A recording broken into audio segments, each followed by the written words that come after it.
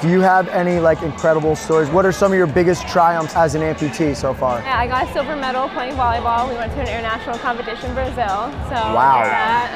Um, I've been surfing with Bethany Hamilton, the woman that lost her arm to a shark bite. Okay. So I know her. We're friends. That was fun. I feel like everything that I've tried to do, if, even if I haven't like accomplished it, at least I can say like, hey, I did this. I gave it my all. It's not for me. I think as amputees, you have to empower yourself because at the end of the day, you're the one dealing with your prosthetic, you're the one dealing with everything you're going through, and no one's like gonna make that decision for you.